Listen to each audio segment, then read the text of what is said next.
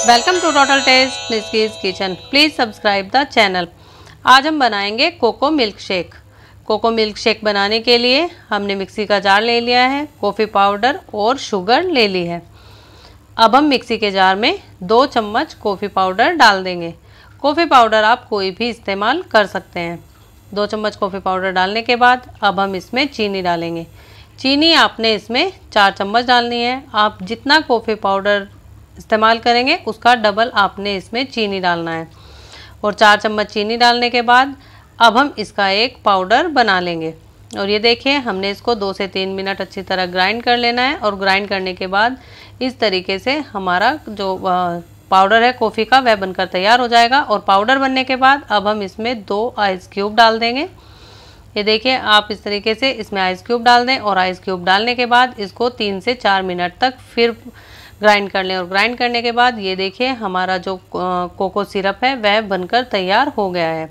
और ये कितना स्मूथी भी है और इसका कलर भी चेंज हो गया है। जब आपका सिरप तैयार होगा तो उसका कलर चेंज हो जाता है। तो चलिए, अब हम बनाना स्टार्ट करते हैं। हमने एक कांच का ग्लास ले लिया है और उसमें चारों तरफ़ से हम इस तरीके से फैलाते हुए कोको सिरप डाल देंगे।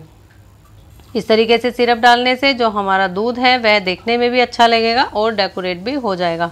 आपने तीन से चार चम्मच इस तरीके से गिलास में चारों तरफ़ डाल देना है और इसको डालने के बाद अब हम इसमें दूध डालेंगे। दूध आपको ठंडा इस्तेमाल करना है। और ये देखिए, अब हम इसमें दूध डाल देंगे। दूध को आप थोड़ा ऊपर से डालें ताकि जो आपका मिल्क शेक है, वह झागदार बनकर तैयार हो। और ये देखिए, जो हमारा मिल्क शेक है, वह कितना अच्छा झागदार बनकर तैयार हुआ है और चारों तरफ़ कोको कोको सिरप फैलाने से इसका जो डेकोरेशन है वह भी अच्छी हो गई है।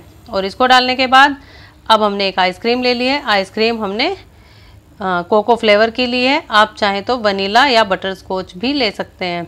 और इसको लेने के बाद अब हम जो इसका, ऊपर का चॉकलेट, आइसक्रीम का जो चॉकलेट है वह हमारे मिल्क शेक में डाल देंगे। और ये देखिए, आप इस तरीके से क्रश करके चॉकलेट मिल्क शेक में डाल दें और कुछ आइसक्रीम भी डाल दें। अगर आपके बच्चे दूध पीने में नखरा करते हैं तो आप इस तरीके से उनको मिल्क शेक बना के दें। वह इजीली पी लेंगे। यह दूध पीने में बेहद टेस्टी होता है और आइसक्रीम डलने के बाद तो बच्चे और भी शौक से इस दूध को पियेंगे।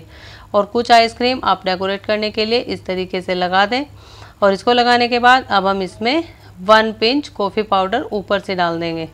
ये देखिए, आप इस तरीके से चारों तरफ़ फैलाते हुए कॉफ़ी पाउडर डाल दें और अब हम दो चम्मच कॉफ़ी सिरप ऊपर से डाल देंगे। इसको डालने से इस, ये डेकोरेट भी हो जाएगा और देखने में भी बहुत अच्छा लगता है।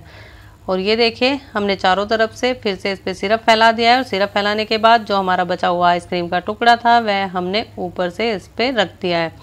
और हमारा कोको मिल्क शेक बनकर तैयार हो गया है। आप भी यह कोको मिल्क शेक ज़रूर ट्राई करें। चैनल को लाइक, शेयर, सब्सक्राइब करना ना भूलें और बेल आइकन दबा दें।